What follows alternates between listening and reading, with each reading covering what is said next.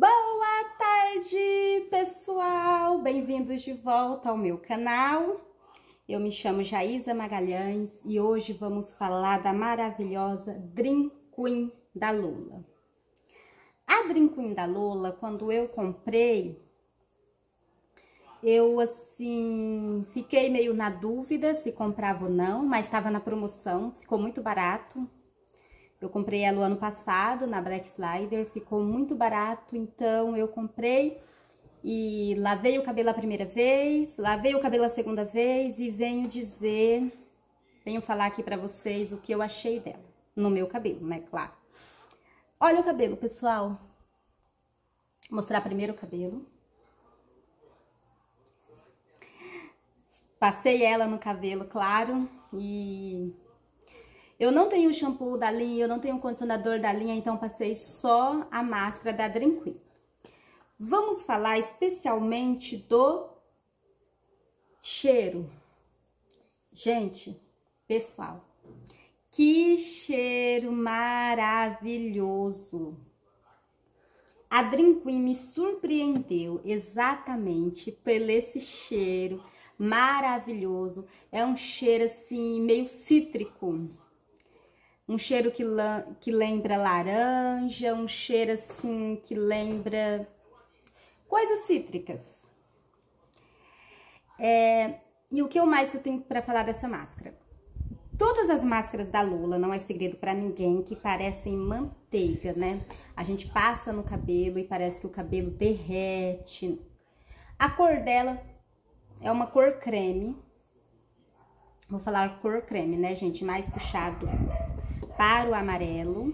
É uma cor creme. Eu achei assim que no meu cabelo maravilhosa. Gente, a primeira vez que eu usei, eu não tive esse assim, não deu aquele aquela sensação de que ficou maravilhoso, porque eu passei rápido no cabelo. Eu, assim, eu acho que eu não condicionei, dessa vez eu condiciona, condicionei, eu passei um condicionador no cabelo. Olha, pessoal, eu tô achando, eu... É claro que o cabelo também tá muito diferente, né? Que eu usei ela a primeira vez no ano passado, né? E agora o cabelo tá mais cacheado, então assim, já tem uma visibilidade, visibilidade melhor dos cachos. Então, tudo é diferente. Quando passa o tempo, quando temos mais coisas assim para falar. Particularmente, eu amo os produtos da Lola, particularmente, tá, gente? Então, assim, o primeiro produto da Lola que eu usei, eu acho que foi, acho não, foi o hidratação da Lola, aquele banana, né, da etapa de hidratação, e o olhinho também, o pinga da Lola, eu usei. E eu amei, né? Então já me apaixonei por aí, o cheiro, a textura. Gente, parece manteiga no cabelo. E o meu cabelo simplesmente ama manteiga, simplesmente ama manteiga, porque o meu cabelo é extremamente ressecado. Vocês veem o meu cabelo assim, mas vocês veem o meu cabelo assim, mas o meu cabelo é extremamente ressecado. O meu cabelo só fica assim quando eu lavo, gente. É, no outro dia, pode ser que o day after fica bom, mas eu sou aquela pessoa que eu durmo e me mexo pra cá, me mexo pra lá, me mexo pra... Eu rolo na cama toda, então assim, o que que eu vou falar do que eu achei? Os componentes dela, é, no meu cabelo, deu mais é, etapa de reconstrução. E eu acho que foi mais reconstrução, não foi assim hidra, hidratação, como está escrito na máscara. A máscara está escrito Dream Queen, máscara super hidratante para cabelos com grandes problemas e para aqueles cabelos que não querem ter problemas. É... Lola criou Dream Queen para cabelos secos e rebeldes que não que precisam de calmaria, mas não se inquiete. Se você tem cabelos comportados, você também poderá usar e abusar para manter a sua bela cabeleira. Máscara super hidratante. Então, pessoal, eu assim, eu achei que não tem necessidade de passar condicionador no cabelo. Mas o meu cabelo é um dilema, gente. A máscara pode ser boa, o... pode ser uma máscara muito, muito, muito boa, que está escrito que não precisa passar condicionador. Mas aí eu passo a máscara no cabelo. Algumas eu realmente percebi que dá certo sem o condicionador, outras não dá certo. Essa foi uma que o primeiro teste que eu fiz, que eu faço vários testes, né? Eu usei ela duas vezes. O primeiro teste que eu fiz com ela, eu não usei condicionador, pra ver como ficaria o cabelo. Dessa vez, eu usei um condicionador que eu tenho em casa mesmo. Um outro condicionador de outra linha. E eu achei que o cabelo ficou melhor. Pessoal, olha como é que ficou o cabelo. Ficou um cabelo brilhoso. Ficou um cabelo mais definido bem mais definido. Os cachos já estão tendo uma definição própria, né, pessoal? Eu não sei fazer, assim, finalização elaborada como as blogueiras. Então, assim, pra mim, Vai ser muito difícil manter o cabelo cacheado, porque eu não sei finalizar o cabelo. Estou aprendendo com, aqui com vocês, porque eu pego dicas de uma, pego dicas de outra. Eu nunca soube cuidar do cabelo cacheado, era por isso que eu alisava, gente. Porque eu não, nunca soube usar o cabelo cacheado. A máscara Dream Queen, pra mim, entrou no, na etapa de reconstrução eu vou usar ela na etapa de reconstrução, não vou usar na etapa de hidratação, mesmo porque eu tenho várias outras máscaras, né, pra usar. Usei ela duas vezes, ela é um pote de 450 gramas, a embalagem é reciclável, é um produto vegano, não faz testes em animais. E o cheiro, gente, eu acho assim, que os produtos da Lola, teve eu acho que só um que eu não achei que o cheiro foi lá aquelas coisas, né? Mas assim, a maioria dos produtos da Lola, o cheiro é muito bom. O cheiro é muito gostoso.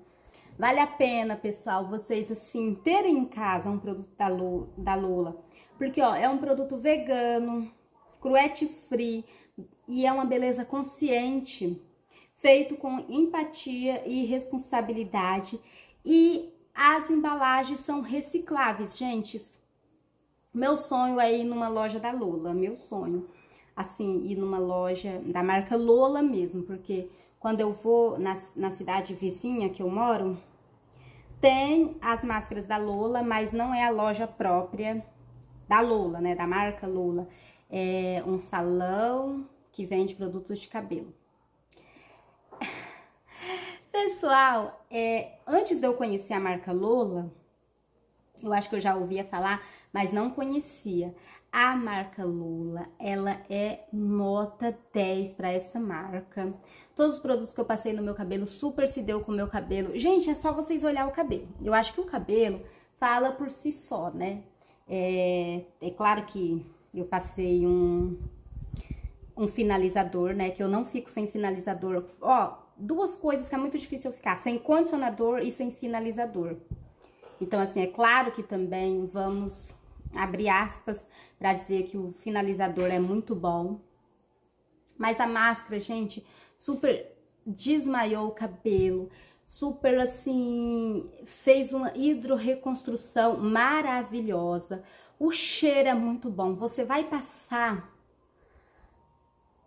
é, essa máscara no cabelo e você vai gostar porque o cheiro é maravilhoso, sem contar o jeito que você pega, pessoal, ó, parece que o cabelo tá tão macio, tão macio, o sensório motor do cabelo, o sensório, o sensorial do cabelo, onde que eu achei sensório motor, né, gente? É, vista aí veio da pedagogia. O sensorial do cabelo dá aquele toque, tipo que tá como se o cabelo estivesse aveludado. Pessoal, o cabelo não ficou super alto, nem baixo, ficou num volume que eu gosto, num volume muito bom. A cor está perfeita. E assim, as máscaras da Lola são conhecidas por ser manteigas mesmo, né? Eu não sei qual é o, a composição que eles colocam dentro, que fica tipo manteiga mesmo. Isso, gente. É o que mais falar dessa máscara, né? É uma máscara que Agora que eu vi a frase que está escrito nela, que eu disse que a Queen era a única máscara que não tinha nenhuma frase, né? Super engraçada, que é tipo um trocadilho. Trocadilho. Ai, gente. A dicção hoje não tá boa, não. A máscara Dream Queen da Lola está escrito do lado, agora que eu vi. Escolha, para vocês, não vai dar para vocês verem, né? Mas é escolha ser feliz. Olha, praticamente eu achei que ela salvou o meu cabelo. Aqui tá um calor, gente, na minha cidade tá um calor quente, quente, quente. E ela foi uma máscara que eu passei no cabelo e que eu lavei o cabelo hoje. Eu passei no cabelo, fui retirar debaixo do chuveiro e uma máscara muito boa, que eu achei que desmaiou o cabelo. Eu usei o condicionador e só melhorou o resultado porque Lola é tudo de bom, porque vocês precisam conhecer Lola, porque tem a máscara Morte Súbita, que eu amei, tem a máscara Hidratação de Banana, que o cheiro é maravilhoso, não tem como não gostar. Gente, a marca Lola eu recomendo que todos conheçam, porque assim... O único problema é o custo-benefício, porque eu acho que as máscaras da Lola deveria ser um pouco mais em conta. Mas eu não sei também, né, gente, como é um produto vegano, eu não sei, assim, se demanda muito, como é que fala, custo-benefício para criação de produtos, produtos veganos. Eu não sei como é que funciona. É, as embalagens são recicláveis, dá para você lavar depois e usar em casa ou para guardar alguma coisa. Com certeza eu vou usar essa embalagem depois. Então, assim, são produtos bons. Nessa máscara, se eu não me engano, eu paguei 20 reais nela. Se eu não me engano, mas eu comprei na promoção, na Black Friday, Black Friday do ano passado, de novembro de 2022, né, pessoal? Então, assim, eu não sei quanto que tá agora. Mas você não paga mais de 30 reais, não. Imagino eu que seja 26 reais. Mas é um... Lembrando que é 450 gramas, Existem máscaras por aí que a gente paga mais de 30 reais e é apenas 250 gramas. Então, assim, é um produto que você vai ter por muitos e muitos anos. Principalmente que entra na etapa de reconstrução e você não vai estar tá fazendo reconstrução todo final de semana, né, gente? Eu faço reconstrução de 15 em 15 dias no cabelo. Então, assim, é claro que cada cabelo é um cabelo. Meu cabelo não tem muitos danos, que meu cabelo nem danos tem, na verdade, né? O único problema do meu cabelo é que ele é extremamente ressecado. Meu cabelo não tem grandes danos, porque o meu cabelo, pessoal, eu tô tentando deixar ele ao natural. É, se eu quisesse deixar ele do lado, né, eu já tinha que ter feito essa finalização antes. Mas como eu estou tentando deixar o meu cabelo natural, ele não tem, assim, grandes danos, né? Não vai ter, assim, danos extremos. Então, assim, reconstrução eu faço de 15 15 dias, porque eu uso coloração no cabelo. Se eu não usasse nenhuma tinta no cabelo, eu ia fazer reconstrução uma vez no mês. E é isso aí, eu me apaixonei pela marca Lola mesmo, não tem como negar, eu já amo já quero levar a marca Lola pra vida. Aconselho vocês a conhecerem pelo menos uma máscara da Lola. Vocês vão gostar muito. E até o próximo vídeo. Não se esqueça de se inscrever no meu canal. Beijos e tchau! Bora testar a Dream Queen da Lola. Bem, gente, é a segunda vez que eu tô usando, né? Pra mim, ela entrou na etapa de reconstrução. Olha, o cheiro, gente, que delícia. Que del... Abaixei rapidinho pra pôr ali. Que delícia é o cheiro. Hum. Vamos enluvar bem nas pontas. As minhas pontas, pessoal, não são muito danificadas, porque eu não faço química, né?